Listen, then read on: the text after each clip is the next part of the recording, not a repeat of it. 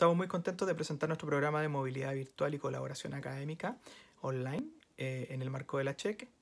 Esta iniciativa tiene como propósito conectar a las instituciones de educación superior eh, a través de los intercambios virtuales y también ampliarlo a la colaboración y cooperación académica entre profesores e investigadores.